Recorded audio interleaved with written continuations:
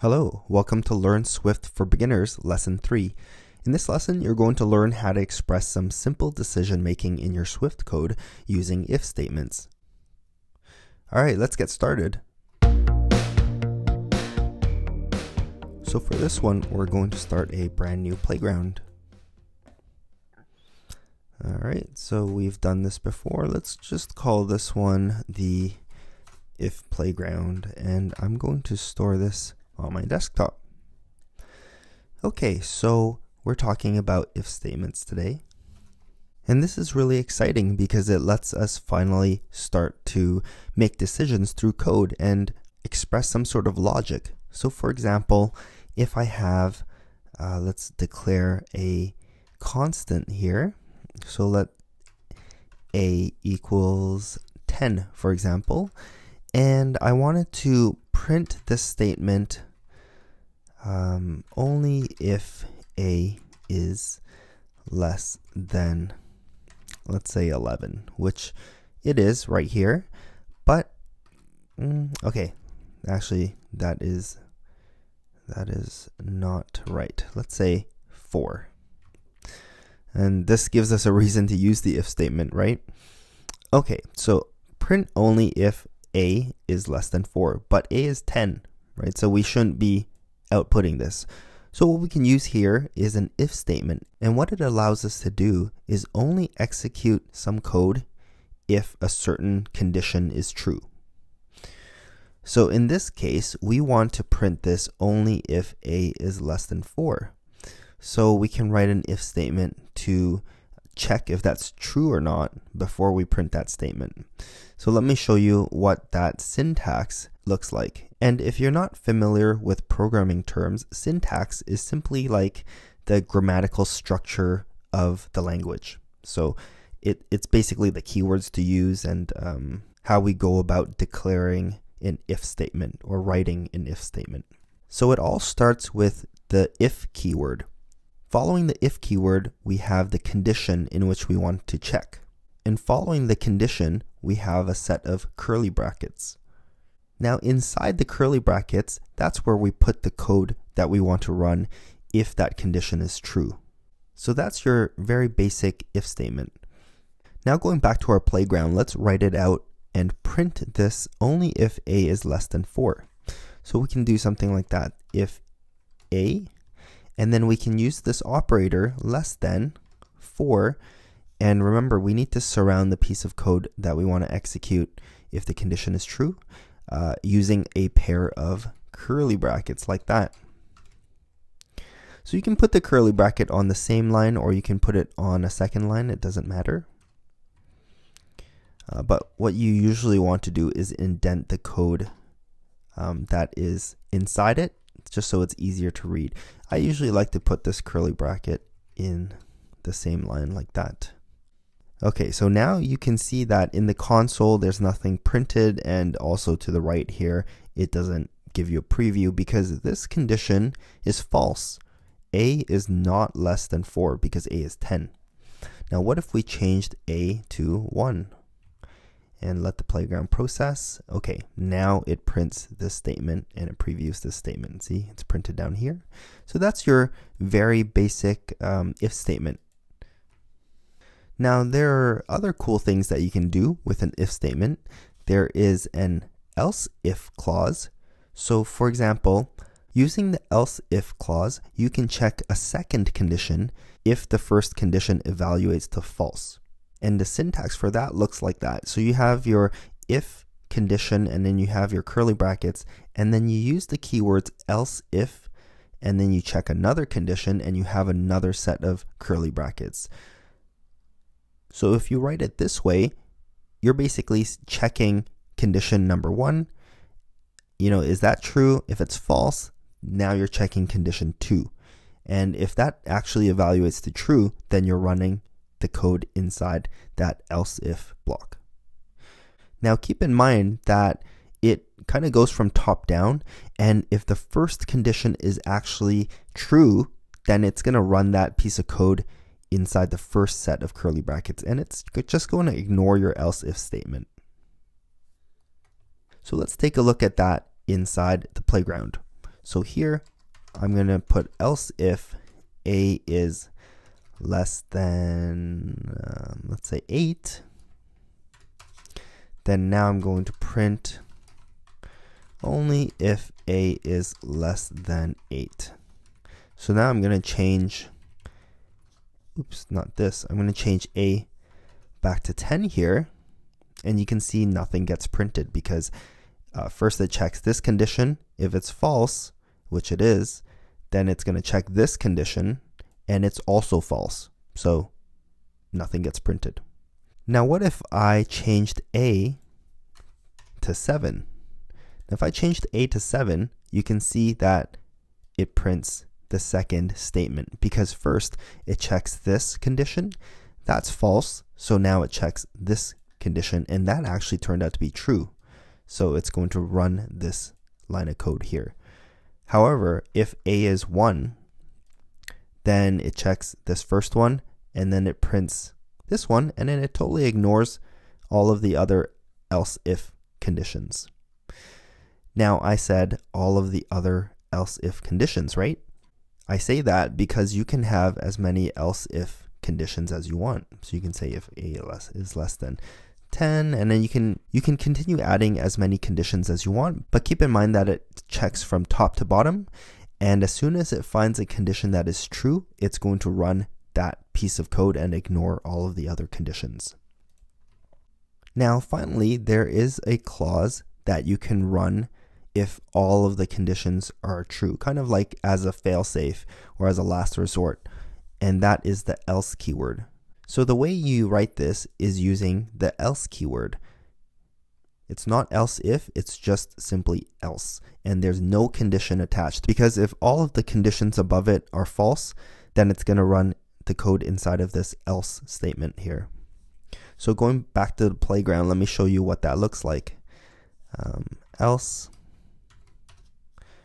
print nothing was true. And now let me change a back to 10 here.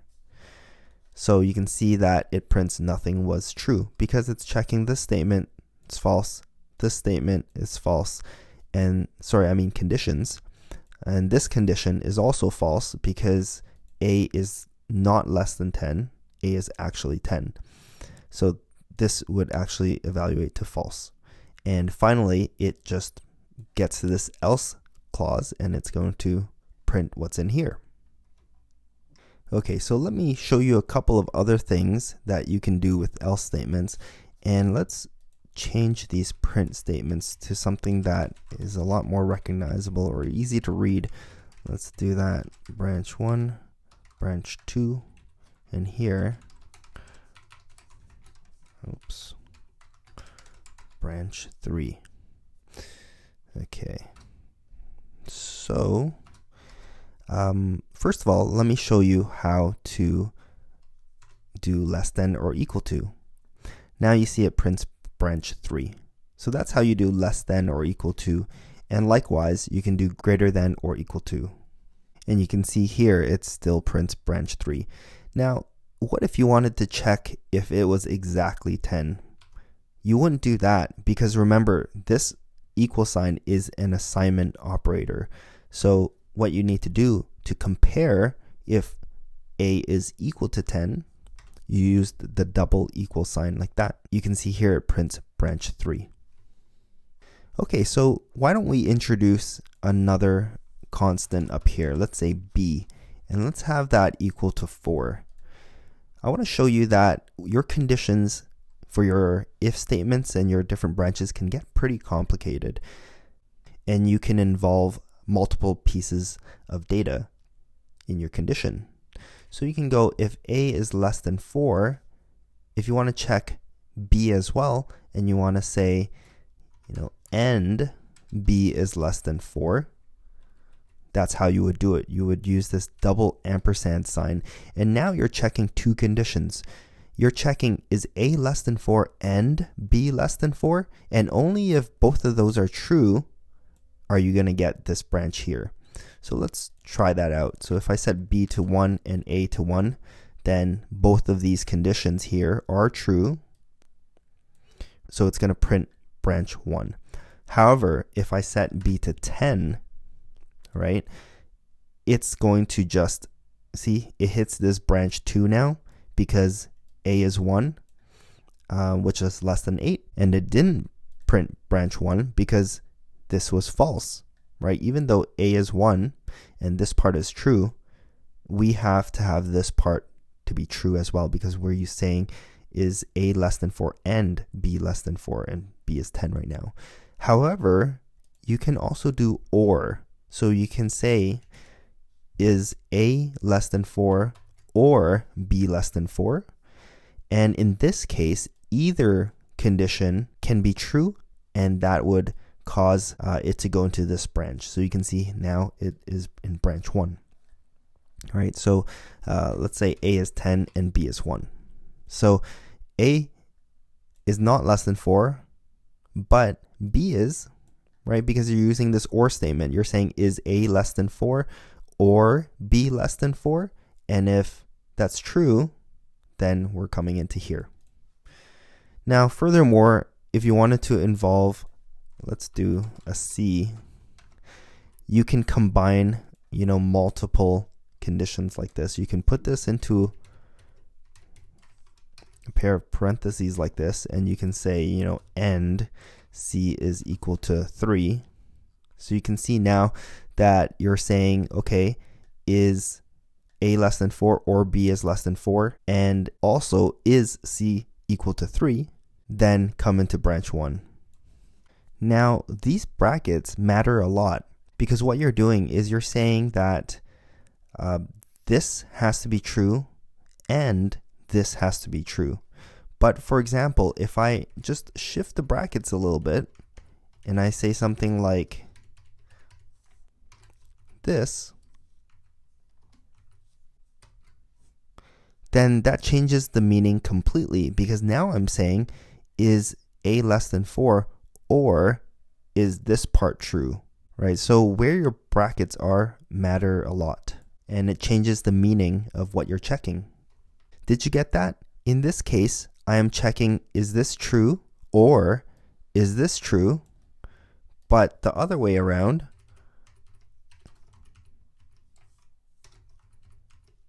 I'm checking is this true and is this true? Right? So the brackets matter. Finally, let me show you another operator that we have here. So here we have, we're checking is C equal to 3? Well, what if we want to ask is C anything but 3 or is C not equal to 3? If we only care about the case where C is not 3, we can say something like this, not equals to 3. And this is going to say, um, is C not equal to 3? So you can see here that C is 3, so that's why it it completely skips this branch and um, it ends up being a is equal to 10 and it prints branch 3. Now you can use this not operator, this exclamation mark here, on other things as well.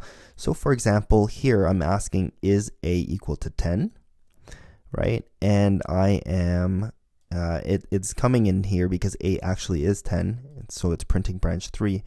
But if I surround this um, like that, uh, let me put something else in here. Is A equal to 10 and B equals to 1, right? That is true. So that's why I'm still getting branch 3. But if I put an exclamation mark here, like that, it basically flips it around. So uh, this evaluates to true, right? A is a 10. This evaluates to true. Both of this whole condition evaluates to true, right? Um, a is A equal to 10 and B is equals to 1.